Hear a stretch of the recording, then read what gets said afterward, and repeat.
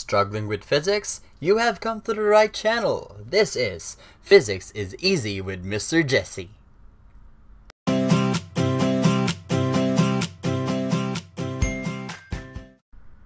This tutorial is about a photoelectric effect. This tutorial aims to solve a problem related to stopping potential and kinetic energy of the photoelectron versus the frequency of the incident photon graph. Let us solve this sample problem. It reads, when light of wavelength 254 nanometers falls on cesium, the required stopping potential is 3 volts.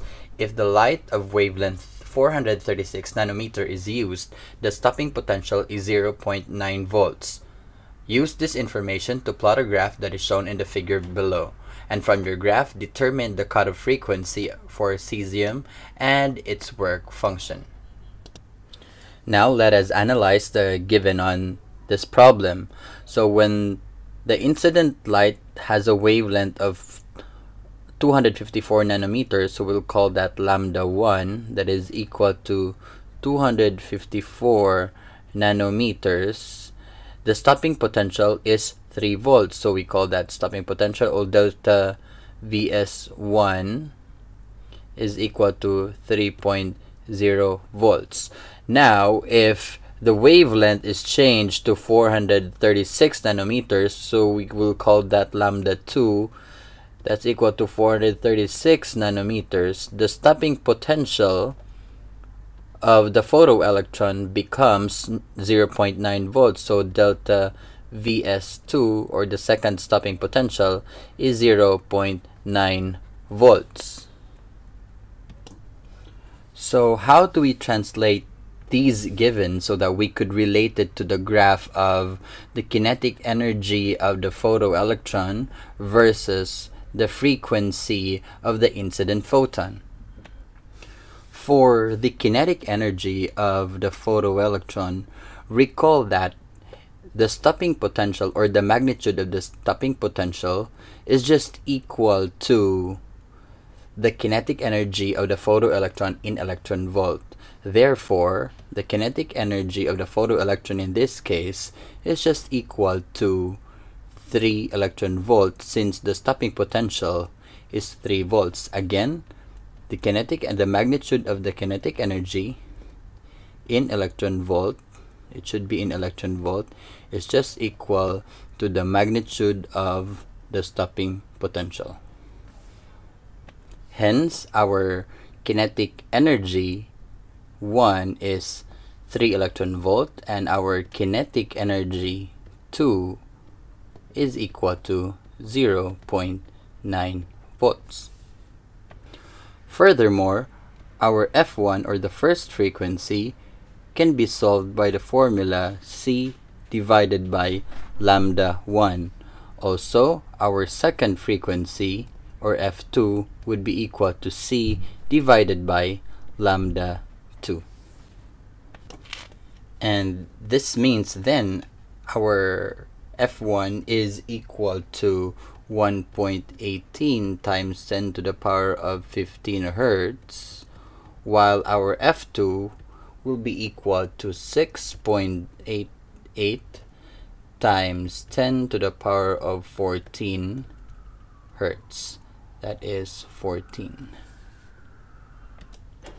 So now, in order for us to solve for the cutoff frequency for cesium and its work function, we have to consider that the graph of the Ke maximum or the maximum kinetic energy of the photoelectron uh, versus the frequency of the incident photon, the graph is actually a straight line.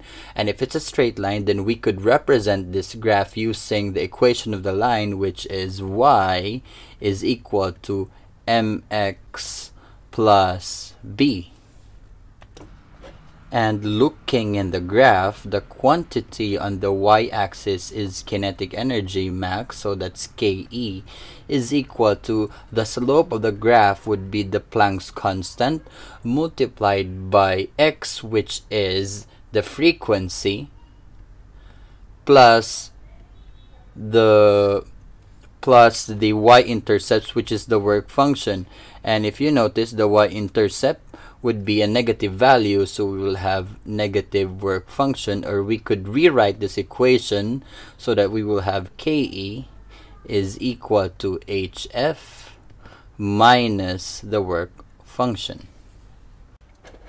Having the equation ke is equal to hf minus the work function, then we could easily solve for the work function by simply substituting either, either ke1 and f1 to this equation or ke2 and f2 to ke is equal to hf minus theta. So for example, I'm going to solve for the work function using the second set of values ke2 and f2 then I'm gonna have 0 0.9 0 0.9 electron volt which is Ke2 minus the work um, Planck's constant which is 6.63 times 10 to the power of negative 4 negative 34 joules per second multiplied by the frequency or the second frequency which is 6.88 times 10 to the power of positive 14 hertz or per second minus the work function. Now, if you notice, this entire quantity here, which is our HF, will actually have a unit of joule because this second here cancels with the per second there, and therefore the unit here is in joule. However, our kinetic energy is expressed in electron volt and in fact the unit that we're going to use for the work function is actually electron volt so therefore we have to change this part of the equation to electron volt. And to do that we could rewrite our equation so that we will now have 0.9 electron volt is equal to 6.63 times 10 to the power of negative 34 joules multiplied by 6.88 times 10 to the power of 14 multiplied by the quantity of 1 electron volt over 1.6 times 10 to the power of negative 19 joules. So this is a conversion factor in order for us to change the joule to electron volt. And we will have minus the work function. So now all of our units are now expressed in electron volt. And now manipulating this equation would give us the value of the work function to be equal to 1.95 electron volt and due to the fact that we have rounded off something as we move along with our process that therefore and that's the reason why we had a slight difference in the answer but 1.95 is actually acceptable and within the tolerance value of the answer set in WebAssign. Now that we have our work function, we could easily solve for the cutoff frequency. Remember that when we're talking about the cutoff frequency or FC, this means that the kinetic energy of the photoelectron, let me write that down, the kinetic energy of the photoelectron is equal to zero and it is for that reason that we can find FC here at this point wherein the kinetic energy corresponds to zero. So the frequency at which the kinetic energy is zero is actually our cutoff frequency. So having this equation, we can substitute Ke to zero, then we could rewrite the equation Ke, which is zero, is just equal to hf and therefore this f here our frequency is the cutoff frequency minus the work function or simply we could rewrite this as the work function is equal to the Planck's constant multiplied by the cutoff frequency.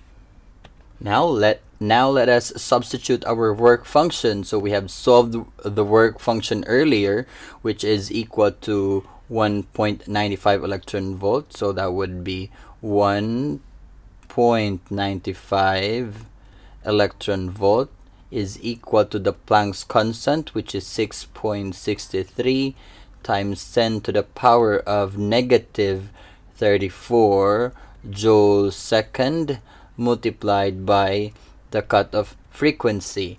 Now, notice that our kinetic energy is expressed in electron volt and our Planck's constant is expressed in joules second. So we can change either the joules to electron volt or the electron volt to joules. So let's change 1.95 electron volt to joule. So to do that, we will have uh, 1.95 electron volt multiplied by the quantity of 1.6 times 10 to the power of negative 19 joule divided by 1 electron volt. So that allows us to cancel the electron volt and therefore the kinetic energy now is expressed in joule. And we have um, and that is equal to rather to 6.63 times 10 to the power of negative 34 joules second multiplied by the cutoff frequency. Manipulating this equation would lead us to the cutoff frequency or FC to be equal to 4.71 times 10 to the power of 14 hertz. Now the discrepancy in the answer that is set in WebAssign is due to the fact that before arriving at the final answer, we already have rounded off something. But don't worry, 7 uh, 4.71 times 10 to the negative 14 is within the tolerance set by WebAssign, so this is still acceptable. And that concludes this tutorial. Once again, always remember, physics is easy with Mr. Jesse.